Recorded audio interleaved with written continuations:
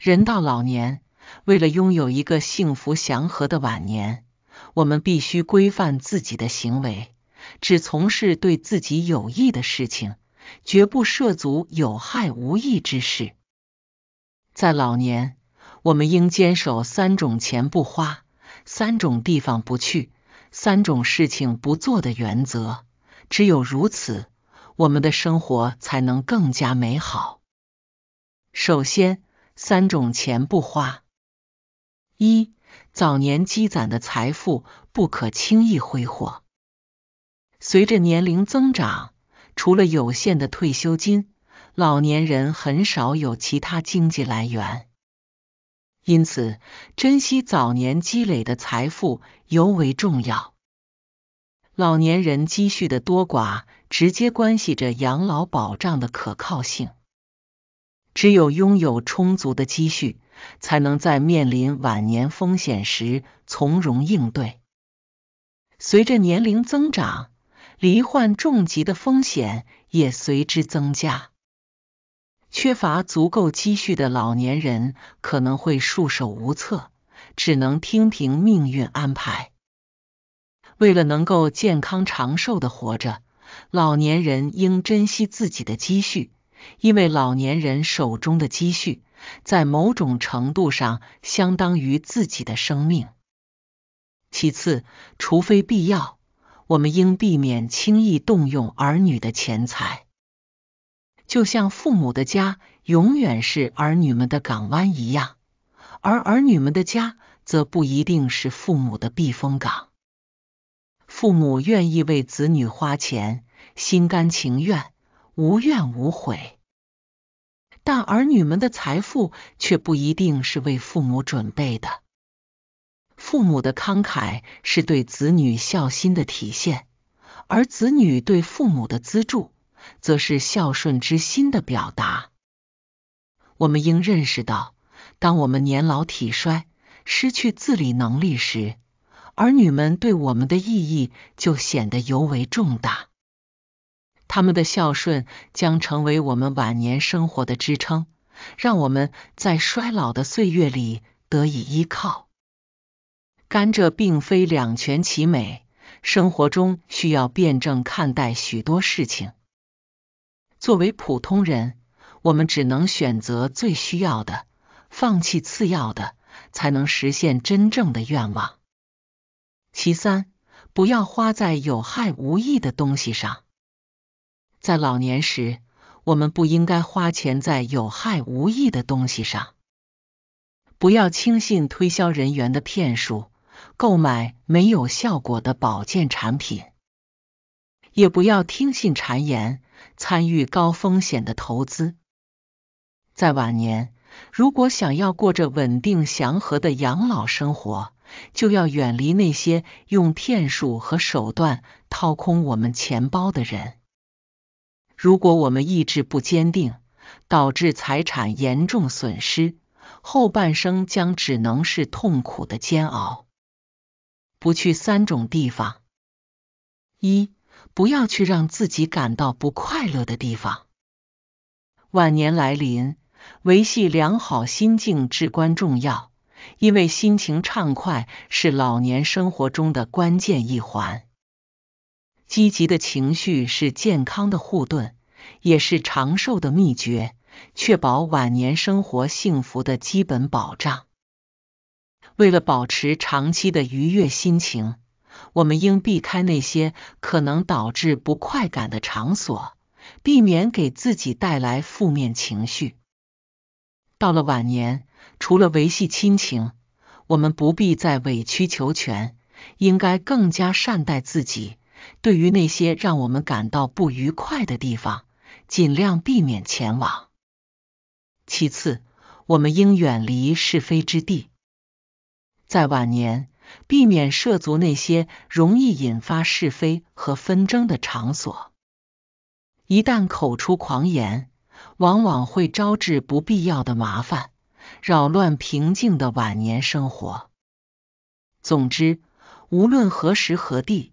我们都应尽量减少前往人流众多、嘈杂混乱的地方。人多的地方往往是非之源，尤其对于身体虚弱的老年人来说，与低素质的人发生冲突，可能带来不必要的困扰。不要冒险，在晚年，我们应避免前往可能危及生命安全的地方。作为老年人，出行时应选择平坦的地方进行观光旅游。而不是前往险峻的山水之间。尽管名山大川的景色美不胜收，但并不适合老年人。老年人行动不便，容易发生意外伤害，如扭伤和骨折。老年人的康复能力较差，一旦发生骨折，可能会留下后遗症，给晚年生活带来潜在危险。三种事情不要做：一、不要过多干预他人的事物。许多人将人生比作四季，包括春夏秋冬。当我们年岁渐长，便进入了人生的冬季。人们常说：春季萌发，夏季养育，秋季收获，冬季储藏。因此，身为冬日的我们，应该顺应自然规律，需进行储备和修养。作为老年人，我们的生活主旋律是守护而非冒进。既然岁月不再赋予我们攻击的力量，我们应该尽力守护自己。而最佳的自我保护方式，便是少插手琐事。让后半生在宁静的氛围中度过。其次，不要困于细节之中。年迈之际，疾病将逐渐缠绕。在这种情况下，老年人往往易陷入悲观情绪，觉得晚年生活毫无意义，沉湎于郁郁寡欢之中。晚年来临。我们不应陷入沮丧的细枝末节之中。我们应明白，生老病死是自然规律，每个人都必须面对。既然必然要面对，为何不豁达一些，勇敢的接受自己日渐衰老的现实呢？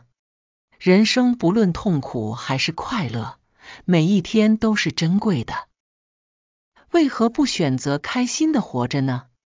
人到老年，积极的生活态度不仅能增添生活乐趣，还有益身心健康。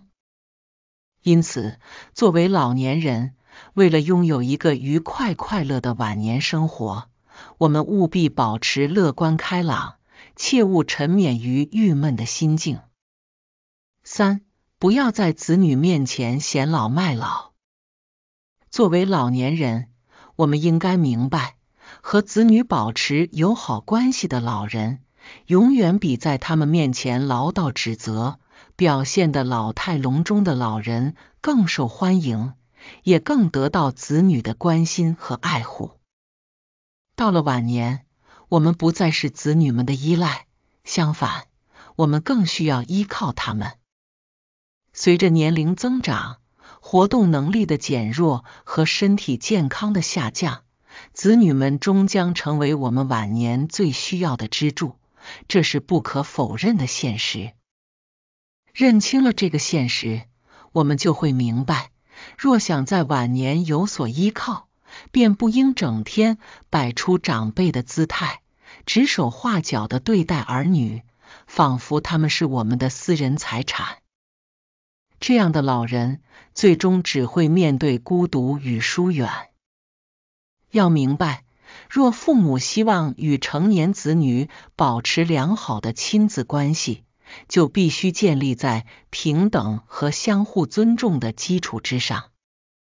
若父母强行要求子女无条件服从自己，按照自己的意愿行事，结果只会让子女对父母产生疏离感，无法真诚的孝顺父母。随着岁月的流逝，我们经历了生活的风风雨雨，从中领悟了许多道理。智慧的老年人会明白何为所当为，何为所不为。人生走到后半程，我们应该更加洞悉其中，精心安排生活，珍惜与子女间的情感，让生命更轻盈愉悦，多些惬意，少些忧虑。在有限的岁月里，我们应该更加关爱自己，给予更多温暖，这才是晚年最应该做到的。老了也不指望你给养老。说这种狠话的父母，最后都怎样了？老了也不指望你给养老。说这话的老人，也许当时就真的是这样想的：老了以后靠自己，不想依靠儿女们给自己养老。尤其是那些强势的婆婆，他们在儿媳年轻的时候，不想帮忙给带孩子，经常会用这样的话语告诉儿媳。说自己老了，不指望儿媳给自己养老。那么，说这种狠话的父母老了以后都怎么样了呢？四十八岁的温女士，当年婆婆嫌弃我们不如哥嫂有本事，可老了却赖在我家不走。我家婆婆今年七十二岁了，身体还算可以，只是老公公过世以后，她就非要住在我家养老。说什么也不去老大家。我婆婆有三个儿女，两个儿子，一个女儿。我家老公是老小，我们两个人也就是普通的公司职员，收入一般，没有什么特别的本事，靠着薪水过日子。我生完女儿半年后，想着让婆婆帮忙带一段时间的孩子，可婆婆却用我老了不指望。你给我养老为理由，拒绝帮我们看孩子。当时也没有多想，可婆婆却天天给大嫂接送孙子。那时候，大嫂的儿子已经上了幼儿园大班了，即将是个小学生。我觉得婆婆太偏心了，也许是因为当时大哥是单位里的领导，嫂子家里也是干部吧。婆婆觉得自己可以依靠他们养老。就不看好我们。我们夫妻两个倒着班工作带孩子，没有经历过的人根本体会不到那份心酸。岁月如梭，转眼婆婆老了，公公过世了。婆婆跟老公说，以后就指望我们给她养老，非要搬到我们家里居住不可，还要把她自己的退休金卡交给我。我没有要，告诉婆婆。你自己拿着吧，想买些啥自己方便。这么多年过去了，婆婆已经不记得自己当年说过这样的话，也许是真忘记了，也许是故意装糊涂。不管怎样吧，为人子女的，该孝顺还是要孝顺的。毕竟老人是走下坡路，人生时日不多了。况且现在的婆婆已经没有了当年的强势。更多的是小心翼翼的说话，让人看着很少心疼。其实这人啊，什么时候都不要说过头话。人生那么长，谁知道未来是个什么样子的呢？还是多些善心的好，彼此好好的善待对方。不论是父母子女，还是婆媳，都要好好的对待彼此。来日不方长。彼此珍惜今世的情缘。五十二岁的周女士，当年父母说找你婆婆去带孩子，我有儿子，不用你给养老。现在却在我家住了十年。五十二岁的周女士说起自己的父母，也是一脸的无奈。当年周女士的婆婆公公在偏远老家，根本不可能来这里帮她带孩子。自己的母亲。那个时候刚好退休了，就想着反正哥哥家的侄子都上学了，请母亲帮忙带上一两年，孩子也就大了。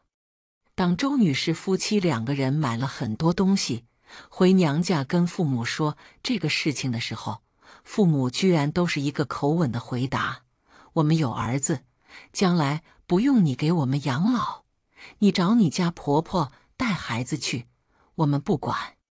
当年的周女士是哭着从娘家出来的，那份酸楚到现在依然记得。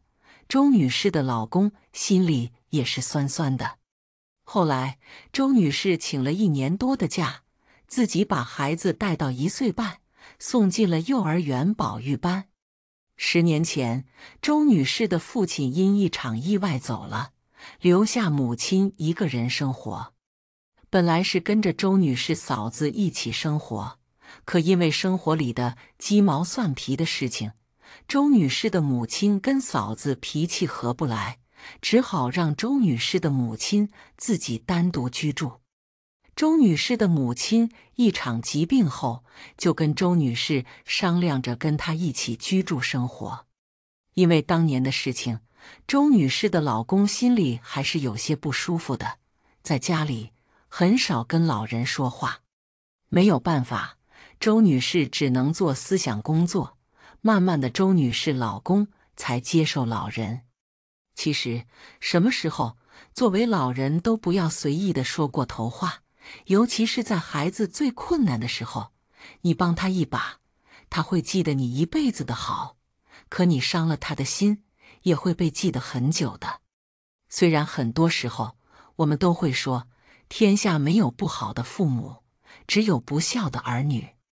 可人与人之间还是相互的，你帮我一把，我敬你一丈。周女士说：“现在母亲在她家住了十年，自己也会在开心的时候逗母亲。你们当年不是说不用我们给你养老的吗？你们有儿子，不需要我，现在怎样赖我家不走了呢？”母亲就会笑着说：“那可不是我说的，都是你们父亲说的。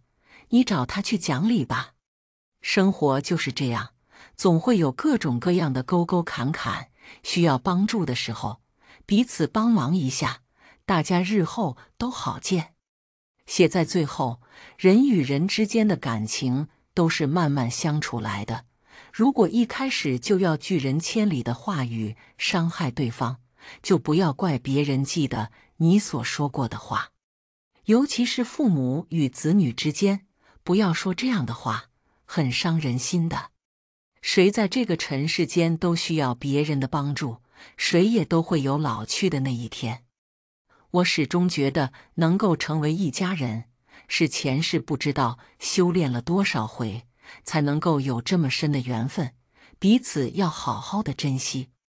老人善待儿女，儿女孝敬老人，这样的家庭才是人间最和睦美好的，也是人人期待向往的家庭。现在的单身老人为什么都流行请保姆呢？三位保姆说出实情，在人们的印象当中，那些雇保姆照顾自己的老人们，基本上都失去了自理的能力。毕竟，保姆的工资不低。若不是没办法，谁也不会跟自己的钱过不去。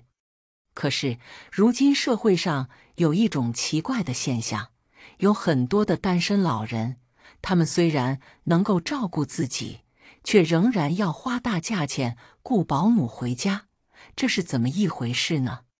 三位从业多年的保姆说出实情：赵阿姨，我今年三十八岁。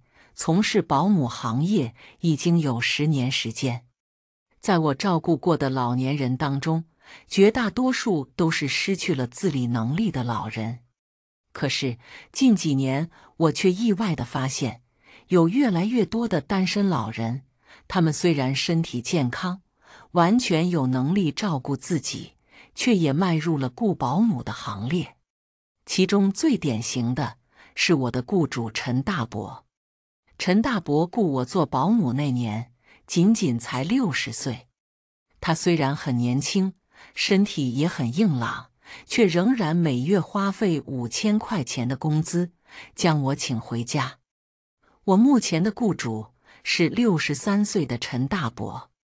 陈大伯自从老伴因病去世之后，就一个人过着独居的生活。在陈大伯家里做保姆。是一件非常轻松的事情，因为我除了给他做三餐饭，将家里收拾干净之外，就没有太多的活。以前我照顾那些不能自理的老人的时候，每天都忙得脚不沾地的。除了日常的买菜、做饭和收拾屋子，我还要不停的给老人翻身、换成人纸尿裤，给他做好身体清洁的工作。那时候的我，每天都像是打仗一样，累了一天之后，晚上躺在床上，身子就像是散了架。要不是为了挣钱，我恨不得第二天就辞工。正因为有了以前那些不堪的经历，所以我格外珍惜照顾陈大伯这份工作，希望能够长久的在陈大伯家里干下去。然而，当我发现陈大伯雇保姆的本意并不是干家务，而是醉翁之意不在酒之后。我就此打消了在他家里继续干下去的念头。我在陈大伯家里待的时间越长，他对我的态度就越来越轻佻。有一次，我做好了饭，招呼陈大爷上桌吃饭，可他非要我将饭碗递到他的手里，否则就不吃饭。我没多想，就将饭碗递到他的手上。谁知他顺势抓住我的手不放，还不断的说他喜欢我，让我做他的女人。陈大伯突如其来的举动把我给吓坏了。我挣脱他的手，骂他心思坏了。我是做保姆的，他不可以对我这样。陈大伯不甘心，又想拉我。我说他如果再不放手，我就告诉他的儿女们。他才无奈的放了手。为了避免被骚扰，我断然提出辞职。陈大伯为了报复我，扣了我好几百块钱。后来我听熟人说，陈大伯新雇的保姆仅仅做了三天就走了。他疑惑地问我：“陈大伯为人和善，家里的活也不多，为什么他家的保姆都干不长呢？”我的回答只有一句，那就是。他雇保姆的本意是醉翁之意不在酒。刘阿姨，我今年四十二岁，如今在独居的严奶奶家里，已经做了五年的保姆。严奶奶是一个慈祥的老人，我在她家里生活的非常愉快。严奶奶的身体很好，虽然她今年已经七十岁了，却依然耳聪目明，记忆力比我还要好。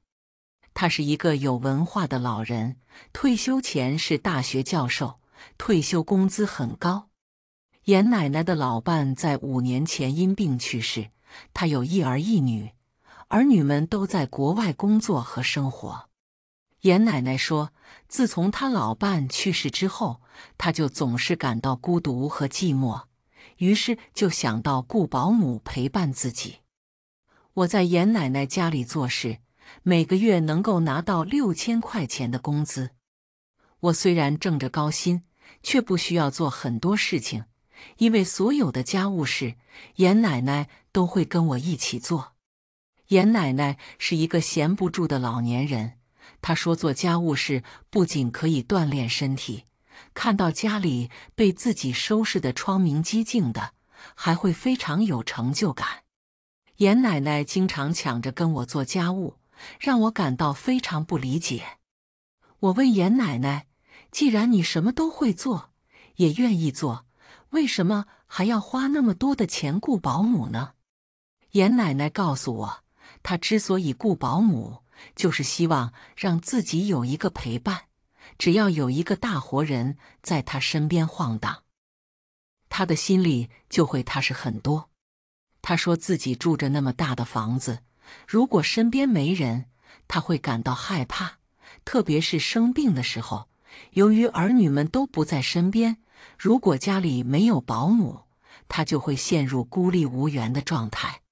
他说：“养兵千日，用兵一时。”虽然我在家里没做什么事，但是我的存在就是他的定心丸。正因为我时刻陪伴在他身边。所以他才能够安安心心的享受晚年生活。自此之后，我就彻底明白了严奶奶的良苦用心。对于严奶奶来说，保姆存在的意义陪伴的价值远远大于照顾的价值。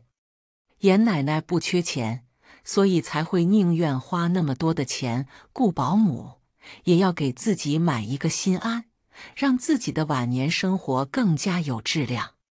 陈阿姨，我今年五十一岁，目前在王大伯家里做保姆。王大伯今年才六十一岁，却早早的过上了雇保姆照顾自己的生活。王大伯的老伴在去年因病去世，老伴去世之后不久，王大伯就将我请回了家。他每个月发给我五千块钱的工资。让我给他买菜、做饭和收拾屋子。我每天白天在王大伯家里做事，晚上就回到自己的家里休息。由于王大伯家只有他一个人，所以家务事不多，做起来非常的轻松。我曾经问过王大伯：“既然家里的活那么少，你的身体也相当不错，为什么不自己把家务给做了？”这样就可以省下雇保姆的钱。王大伯说，他这辈子最讨厌的事情就是做家务。老伴在世的时候，他在家里是甩手掌柜，家里的活全都是老伴做的，他连最简单的洗衣服都不会。老伴去世之后，他曾经试着自己做家务。可是对于他来说，做家务比研究科研项目还要难，并且由于整天都忙于家务，让他的心情非常糟糕，严重的影响了他晚年的生活质量。所以，他宁愿雇保姆做家务，也不愿意为了省钱就自己动手做家务。他说：“钱是为人服务的，他上半辈子努力挣钱。”就是为了下半辈子无忧无虑的享受生活。我非常羡慕那些不缺钱的老年人，因为我不可能像他们那样雇保姆照顾自己。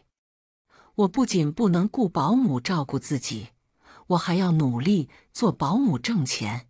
我活一天，就要为儿子奋斗一天。儿子娶媳妇欠下的债，我这辈子都还不完。结束语。健康的单身老人，他们为什么要花那么多的钱雇保姆呢？原因有以下几种：一、失去了老伴，想通过雇保姆给自己找到心灵的慰藉；二、儿女长期不在身边，雇保姆给自己带来安全感；三、厌恶做家务，雇保姆完成自己不愿意做的事情。老年人通过雇保姆的行为，提高自己晚年的生活质量，只要不存在不良的动机，就是一件非常值得提倡的事情。毕竟，老年人辛辛苦苦大半生，让自己在人生的后半程好好的享受生活，才是最可贵的养老方式。故事：五十八岁阿姨，我不图钱，不图房。对再婚老伴只有四个要求：晚年再婚都是有所图的，有些人是为了有人照顾，有些人是为了良好的物质条件，还有一些目的比较纯粹，就是想找个人一起养老。不过大家也都知道，晚年再婚能够幸福的不多，原因在于把个人利益看得比家庭利益更加重。不愿意用心经营生活，但就算是这样，很多人还是不受影响，坚持再婚的想法。每个人对自己的另一半都是有要求的，这关乎着以后的生活质量。五十八岁的许阿姨倾诉道：“我也希望以后的人生能有人陪我度过。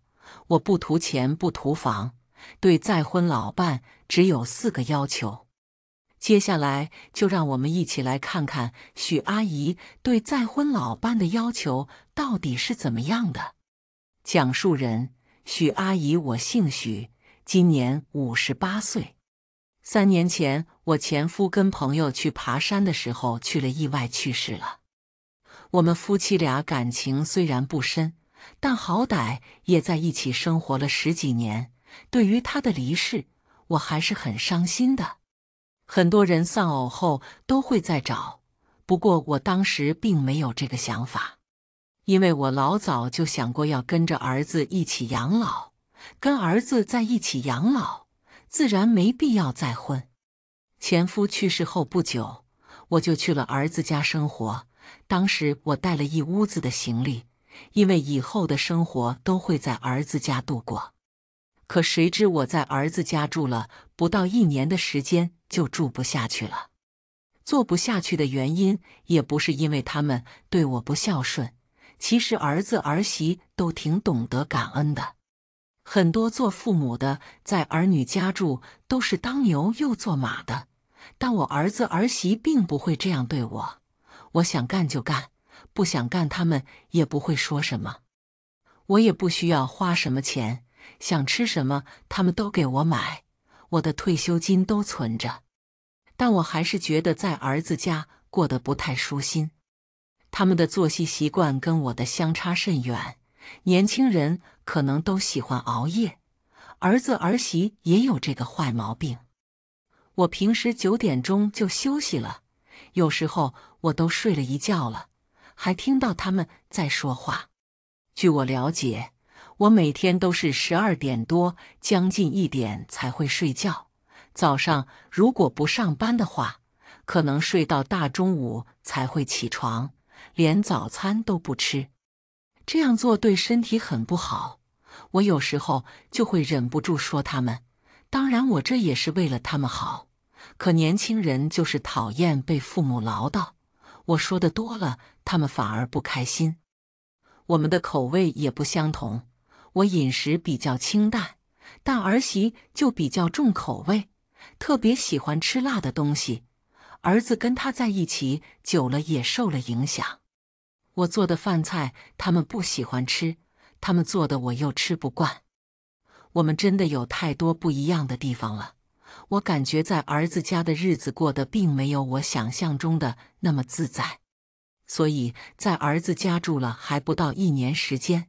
我就放弃了在儿子家养老的念头。一个人的生活虽然也很舒坦，但是遇到什么事也没个帮忙的人，凡事都得自己操心，感觉还是有个老伴会好一些。所以最近我就有了找老伴的打算。我其实就是希望有个知冷暖的人在身边，以后的日子能够好过一些。我对再婚老伴的要求也不高，我不图他的钱，也不图他的房，生活费我也可以全出，只有对方能够符合我的四个要求就行。一，没有大男子主义思想，这一点对我来说特别的重要。我不喜欢大男子主义的男人，我觉得跟这样的男人在一起生活很痛苦。我的前夫就是一个这样的男人。当初我们俩是通过相亲认识的，只短短了解了一个多月就领证结婚了。结婚以后，我才发现我的决定太草率了。我对前夫的了解还远远不够。没结婚的时候，他对我温柔又细心，深深的打动了我的心。可是在一起生活以后，我才发现他当初的好。都是装出来的，只是为了让我跟他结婚。他这个人很大男子主义，对我这个妻子很不尊重，总觉得自己是家里的顶梁柱，家里主要都是靠他在养，所以我就得什么事都听他的，他说什么就是什么。我感觉自己就像一个保姆一样。以前我也想过要离婚。但是身边的亲人都不赞同，就连我的亲生父母也很反对，所以这么多年我都忍了下来。如今能够重新选择，我一定不会再找这样的男人。我的另一半必须要尊重我，平时要懂得关心爱护我，家里的琐事也要懂得为我分担，不能什么事都让我这个做妻子的操心。二。不能要求我伺候公婆和帮忙带孙子，跟我同样年纪的很可能也还有父母。如果父母还在的话，也不年轻了，很可能已经到了要人伺候的时候。我是不愿意伺候公婆的，毕竟这本来就不是我的责任。不过，如果是偶尔帮忙照顾两天，我并没有什么意见。但是让我接到身边全天伺候，肯定是不行的。我也知道，现在很多老男人丧偶后再找都是为了子孙，就是图对方能帮忙带孩子。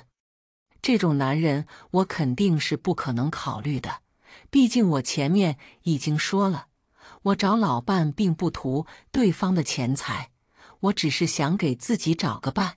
如果再婚还要帮忙带小孩的话，我是绝对不能答应的。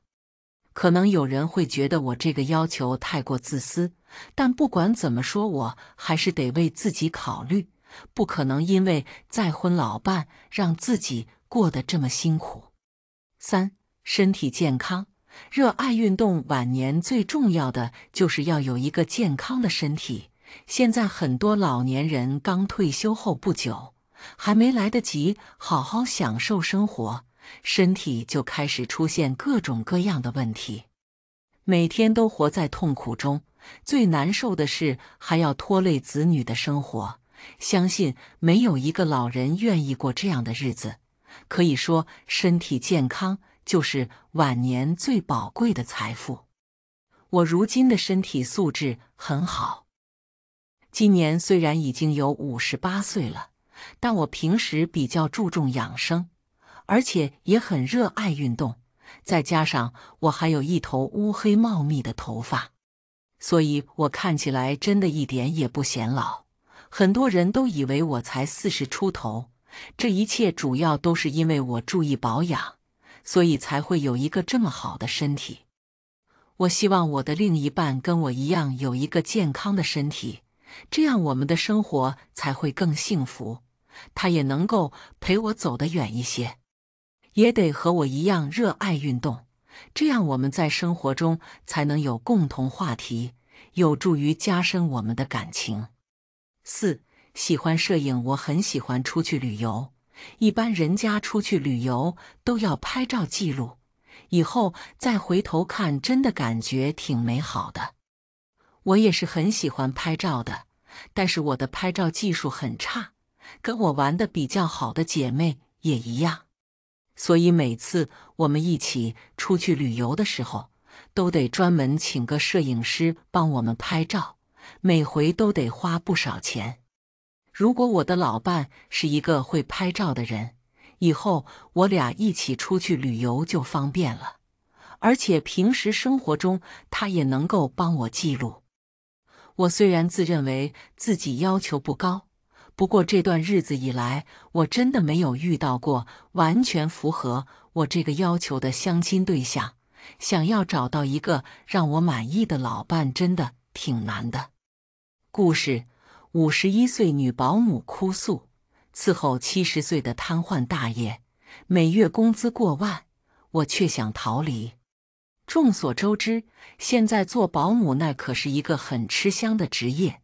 首先，他们的工作很简单，做做饭、扫扫地、陪陪老人、带带小孩，并且包吃包住，还工资贼高。就拿我们这个二三线城市来说，做保姆随便一个月就能拿到五六千元，有些特殊的保姆更可以达到过万的月薪。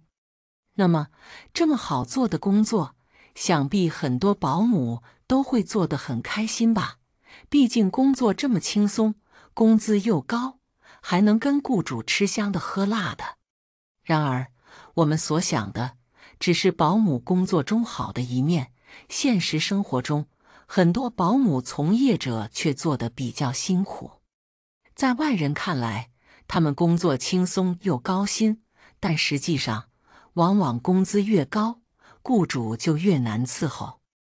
我们小区一位从事了五年保姆的何阿姨，她就对现在的工作很是抱怨。她说：“我以为伺候一位七十岁的瘫痪大爷，每月工资过万，我会做得很开心。但半年后，我却想逃离，不干了。为什么和阿姨做着这么高薪的工作，会舍得不干了？这里面到底有什么原因？下面就来听听和阿姨的保姆的故事。来自何阿姨的自述：我今年五十一岁，四十六岁以前，我们一直和丈夫在农村务农，靠着种果树和种粮食养活一家老小。那时候我们生活的不比城里人差，因为以前的果子价钱好，几亩的果子园随便一年就能收入八至九万元，然后我们再卖点粮食，卖点蔬菜，基本上就能把生活过得很滋润。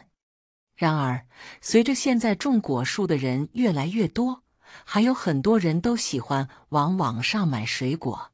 搞得我们这些老农民不好做，每年果子丰收时都卖不到什么好价钱，有时候为了不亏本，只能凭着成本去卖。所以五年前果子连年收入不好，而家里的两个孩子又要上大学了，开支很大，我就不得不脱开身来，选择去城里打工，而丈夫就留在家里。照顾老人和种果树。由于我只有初中文化，去到城里找工作非常不顺利。想去做的别人看不上我，而适合我去做的，我又觉得工资低还很累人。当时什么洗碗的、清洁的、洗脚的等等都做过，但都没坚持太久，大概做了一两个月就不干了。可能有人会说太矫情。没文化还这么挑剔，其实不是我挑剔，而是做这些工作的很累，工资又很低。我回家种菜卖都比干这些多。正当我为找不到好的工作而烦恼时，一位老乡就介绍我去做保姆，说像我这样农村出来的、肯吃苦又能干的中年妇女，非常适合做保姆，而且工资也比我。做洗碗工多得多，他当时就随便晒了下他的收入，一个月足足有七千多，这可把我心动坏了。二话没说，第二天就去家政公司培训，并且培训完我就分配到了一份工作，当时是做白天保姆，早上八点到晚上六点的，给老夫妻做两餐饭。并陪他们到处溜达，工作很简单，工资也低一些，每月四千五百元。但是我却觉得很不错，至少比我做洗碗工强得多。后来我陆续做了好多活，每次接新活，工资待遇都会增加很多。我记得第二年我的工资也达到了七千元。那时候开始。我们家的生活也随着我的工资增长而变得很滋润。当时很多亲戚朋友都很羡慕，说我做保姆真是太赚钱了，随便伺候下老人，做个饭、做个家务，就轻轻松松拿七千八千的工资。但实际上，我做保姆却没那么容易。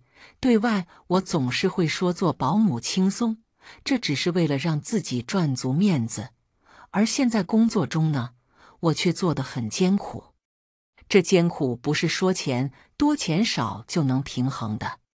就比如我今年接到的一个新活，那是照顾一位瘫痪老大爷的活，每个月一万元工资，两天假期不休息还会加一千。这也是我从事五年保姆以来拿的最高工资。当时我跟很多亲戚朋友的想法是一样的，觉得工资高，我就会做得很开心。但真正照顾了这位瘫痪大爷后，却让我感到煎熬和痛苦。这位雇主叫唐大爷，七十多岁的退休教授，很有钱，退休金一个月就有一万多，房子也有好几套，两个儿子也相当优秀。一个在一线城市里工作，一个是大学老师，一个是建筑工程师，且都有很多钱。然而，唐大爷家不好的就是老伴早逝，他自己也在去年不幸车祸，导致双腿瘫痪，余生只能只能靠轮椅行走。本来两个儿子这么优秀，唐大爷就可以跟随儿子生活的，并得到儿子的照顾的。但是唐大爷是个性格古怪的老人，宁死也不肯离开和老伴同住了二十多年的老房子。而他的儿子也不可能放下工作回老家生活，于是就请我来伺候唐大爷。这也是我第一次接瘫痪老人的活。以前一直听同事说，他们最喜欢照顾瘫痪老人，工资高且自由的时间多，每天把雇主喂饱了、哄睡了，其他时间都是自己安排。所以。我接手唐大爷的保姆工作后，我也这么觉得，想着万元收入，心里更是美滋滋的，还打算要伺候唐大爷到百年呢。但是伺候唐大爷大概两个月后，我就发现伺候正常老人和不能自理的老人的差别太大。说是照顾不能自理的老人，工资很高，活很少。但我照顾唐大爷，却感觉比伺候正常老人还多事，每天简直就像干两份活一样，十分劳累且憋屈。我在唐大爷家里的工作，每天都是繁忙的，从早上六点多起来，一直干到晚上十点多，都还停不下来。唐大爷很讲究，天天早上都要喝现熬的砂锅粥。或者现包的饺子，这搞得我一大早就要忙忙碌碌的。其实包饺子还算简单的，三两下就包好了。最难的还是他要的砂锅粥。每次大爷都要求我熬粥时得不停的搅拌，要把粥熬到软烂粘稠不粘底。一次没煮好，就要煮第二次。每次熬粥把我搞得一身汗不说。还手臂酸痛，其他两餐也是很多要求，一会说中午不能吃太素，一会又说晚上不能吃太荤，还有青菜，他从来不让我用油锅炒，每次就开水烫熟，泼点蒸鱼豉油，就这样吃。其实这样讲究，我也可以理解，毕竟人家是教授，会养生，会享受生活。但是让受不了的还是唐大爷那整天吧唧吧唧的嘴，伺候他，我就像时刻待命的机器人，随时要被抓去干活。家里就我们两个人生活，而唐大爷却要我每天都要打扫卫生，不管有没有垃圾，要做做样子扫一下，然后拖一下，几乎没用过的桌子也要我天天擦，说什么有灰尘。那些什么被子、枕头，也是一个月要换洗两次的。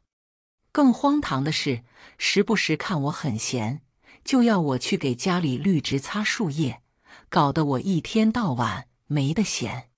平时做完这些家务事，唐大爷还会制造很多活给我，一会要我给他按按腿，一会又叫我带他去溜达公园，一走就是好几公里。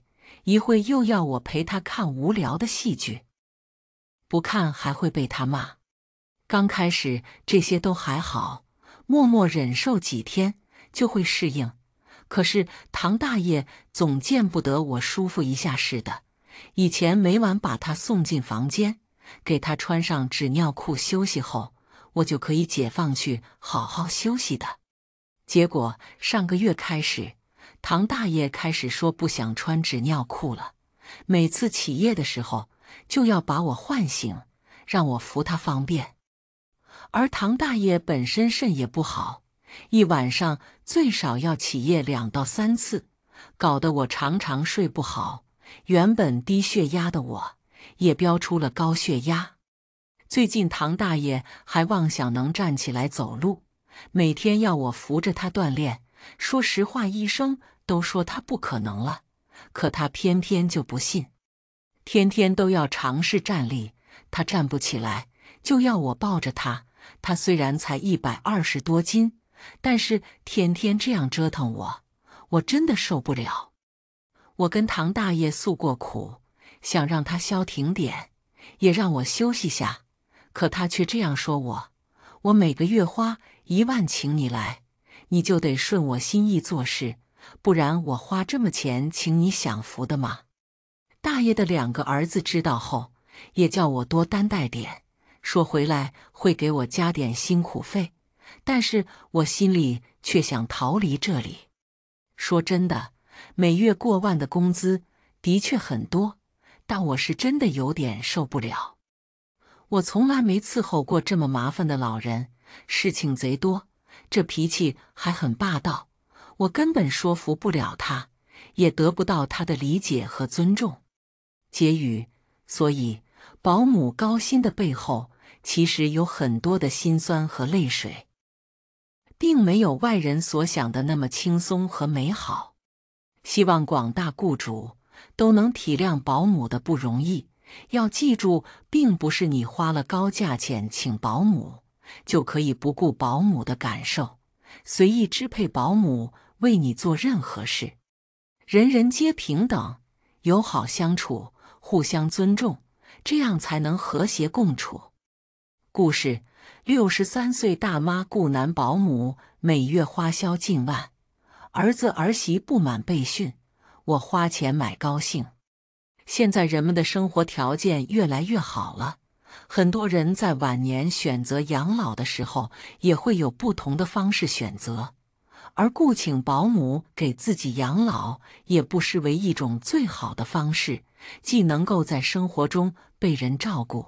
也能够让孩子们放心，既能够保证自己生活的自由，也能够保证自己的生活健康情况，自然深受很多人的青睐了。而在众多雇请保姆的家庭中，在前些年的时候，基本上家里的保姆也都是女保姆为主，女人心细，对于家务活方面也是十分的擅长。无论是做饭还是照顾人，都要好很多，相处起来也不会不方便。可是，在近些年以来，男保姆的需求在如今的社会中也日益增长，很多的家庭都开始选择男保姆来照顾家中的老人生活，甚至有很多的老人自己也很愿意去找一个男保姆去照顾自己的生活。那么，这又是为何呢？六十三岁大妈雇男保姆，每月花销近万，儿子儿媳不满被训，我花钱买高兴。讲述人：六十三岁的杨大妈，我是杨大妈，我今年已经六十三岁的年纪了。这个年纪，说实话，不上不下，说是年龄大了吧？但是身边还有一些比我年龄还大的老人，能走能跳的，基本上不需要人照顾。说我的年龄不大吧？现在的身体是一天不如一天了，大病小病不断。光是药罐罐就放了一个抽屉，隔三差五的不舒服，让我觉得挺难过的。而我的难过不光是来自于年龄上的、身体上的，更多的还是生活上的。我的老伴在我刚退休的那两年就去世了。那时候是因病去世的，得了癌，没法治，也治不了。最后熬了一段时间后，还是去世了。去世了之后的我就成了自己一个人生活。起初的时候，我还能够在儿子家住着，一边照顾他们的生活，一边给我自己养老，身边也有亲人陪伴，日子自然也过得舒坦了一些。可是，在他们家里仅仅住了一年的时间，这生活就过不下去了，真的是麻烦。家里太挤了，人太多了，这人一多就很容易产生矛盾。我那媳妇是独生女，父亲瘫痪在床上，母亲又因为摔断了腿，没办法，只能够把他们接到了身边来照顾。一共就三个房间，这哪能住下这么多人？况且住的也不合适，我就主动的选择了回家自己生活。那时候的我还是很自在的，觉得一个人住起码自由些，想做啥就做啥。平常我也是大大咧咧的，出去打牌，出去旅游，生活好不自在。那时候的身边人都很羡慕我的生活，觉得我这晚年有吃有喝，而且还有钱花，儿女也不需要我去操心，很是羡慕了。比起他们，有些人又得帮助带娃，或者是身体不好的，我也觉得确实如此。所以生活过得更加满足了很多。一个人的生活虽然说自在，可是却少了一些热闹。每天在家里的时间就是自言自语的说话，有太多的冷清以及孤单了。而且生病的时候也没有个人照顾，所以趁着有一次生病的时候，我也试着请了一个保姆。那时候是冬天，出门的时候脚下没留神，所以不小心就把腿给摔断了。本来就是老寒腿，赶上刮风下雨。天气寒冷的时候就疼得厉害，也因为这是我也学着别人请保姆来生活，毕竟儿子家里也去不了，所以还得是自己过自己的。我算了一笔账，我每个月的退休金有五千块钱，再加上我这些年的存款有十来万，儿子每个月也会给我一千多块钱，这样算下来，我的生活足够富裕了。所以请保姆也就很正常的事情了。当时第一个保姆还是儿子给我找的，是个女的，五十不到的年纪，做保姆这一行业也五六年了。刚雇到家里的时候，倒是觉得挺合适的，家里的很多事情她都能够给忙活的井井有条的，做饭也不错，每天都不重样的，让我也吃的挺高兴的。一个月工资不高，也就三千块钱，每天三顿饭都是他来做，我也只管着享受。说实话，请保姆有请保姆的好处，生活上面基本上不需要我操心，但是也有难处，尤其是我跟女保姆之间的相处，总是处处有问题，有隔阂。我看不惯她每天活少休息的多。比我还要轻松，每天的早饭基本上都是在外面买的，然后到中午的这段时间里，他就收拾一下屋子，做个午饭就没事了。中午就在我家休息了，下午睡得起来之后，也只是买点菜，随便做点吃的就没事了。我想着让他带我下楼逛一逛，去散散步之类的，他就带我去过两次。因为他嫌麻烦，我家是三楼，每次下楼都得他帮忙扶着。那时候没买的轮椅，只是拄着拐杖，而且还得让他在身边扶着才行。结果他嫌累，就不太愿意带我下去。但是我总不能天天待在家里生活，我自己每天下楼也觉得不方便，没办法，我就辞退了他。可是生活还要继续，辞退了他之后，我就寻思着再找一个能够带我天天下楼的人，这才有了后来雇请男保姆的心思。接触了几个之后，请了一个五十岁的老于，老于做保姆也已经四五年了。他之前是在厂子里上班的普通工人，人不错，会做饭，会打扫屋子，还会照顾人。为人也热情开朗，我考虑之后觉得也挺合适的，所以就请了他在家做保姆，工资要高一点，每个月四千块钱，一日三餐都是他来说，而且收拾屋子也是一把好手，家里也被他打理的很干净，比之前的女保姆还要仔细。除了这事情之外。他每天还能够带着我下楼逛逛，搀扶着我也方便了很多。他还建议我买一个轮椅，这样以后会更方便一点。我也听了，让儿子给我买了一个。虽然用的不多，但是出个门有个轮椅确实很方便。而让我真正觉得过得舒坦的是他的性格。他性格很好，每天一到家里就说话大大方方的。他说他之前也照顾过老人，所以这方面很有经验。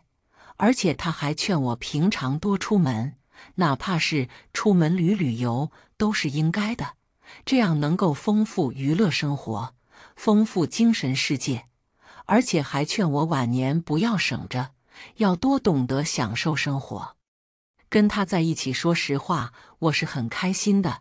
家里的大事小事都不需要我操心，而且他每天到家里之后也总是热情大方，让我觉得很高兴。我的生活也有趣了很多，感觉自己都年轻了不少。有两个月的花销很多，那俩月的时候，因为吃饭、因为旅游的事情花了不少钱，连续俩月花钱都差不多要临近一万块钱了。我倒是没觉得有什么不合适的，钱不够了就拿自己的存款来补上，也是正常的事情了。儿子就忍不住吐槽，怪我不懂得省钱，到处乱花钱，怪我一个月的花销近一万太多了。我在气头上跟他对了两句，本来我是要在你们家里养老的，可能一分钱也不用花，结果没办法。你岳父母的情况更不好，得跟着你们住。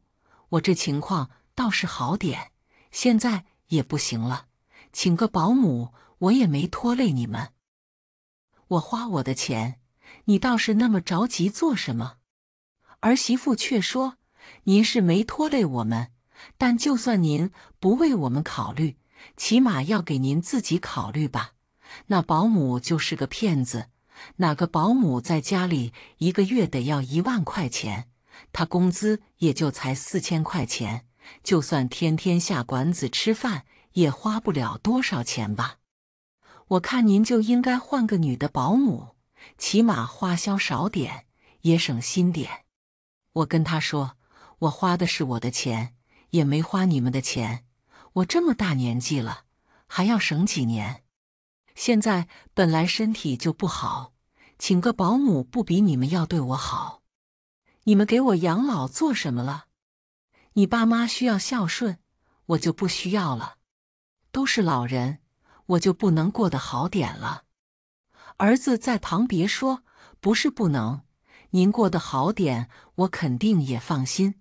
但是您这花销太多了，一个月就一万块钱。这钱肯定是不够花的。我之前给您请的女保姆就挺好的，工资也少，也干得多。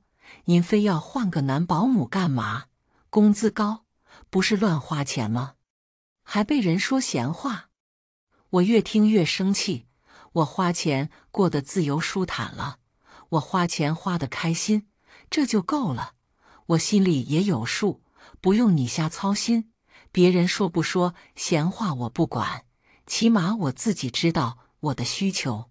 女保姆一天只会做饭、打扫屋子，什么也不会干。男保姆能满足我的生活需求。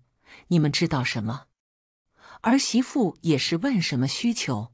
我说男保姆能带我出去闲逛、旅游，能给我处理家里的杂事。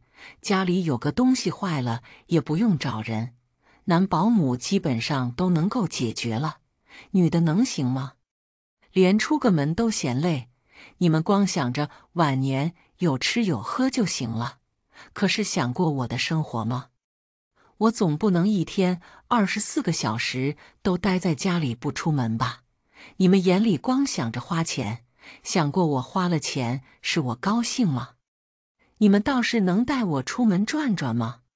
咱们凭良心说，我这几年的养老，你们尽过什么孝？现在还要干涉我的生活？你们倒是说的简单。我还是那话，我是花钱买高兴。你们要是不愿意，就给我养老养的高兴点也行。儿子也不说话了，儿媳妇也不说话了。而这事之后，我也不跟他们多说什么了。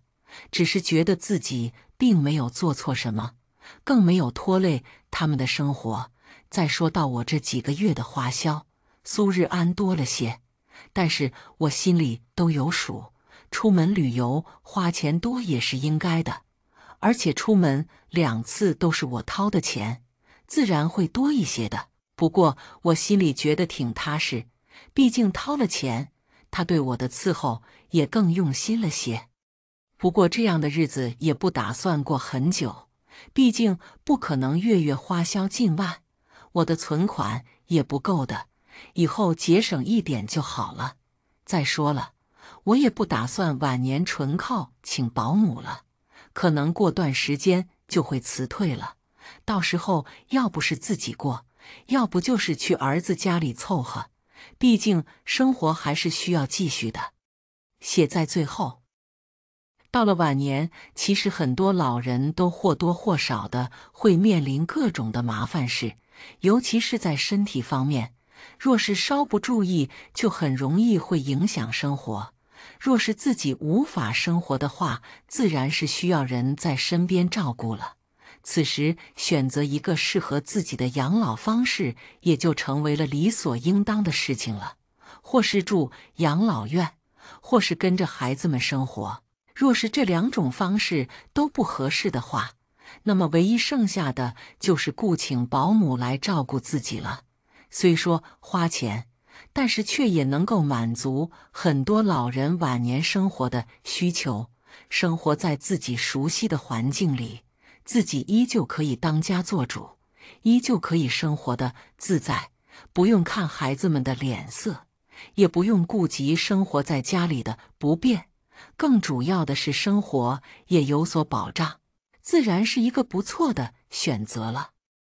而对于选择男保姆，亦或者是选择女保姆的时候，倒也不必那么的过多纠结，只要选择适合自己的就行，各有各的好。女保姆在生活上会更加的方便些、心细一些，可是，在有些方面，女保姆却也不如男人。比如在出力方面，再比如生活技能方面，很多事情有男人去做的话，会更踏实一些，容易一些，也更有保障一些。做老人的，若是经济条件允许的情况下，选择请保姆也是一个不错的养老方式。做子女的，若是老人的生活能够过得好，也没必要过多的去干涉。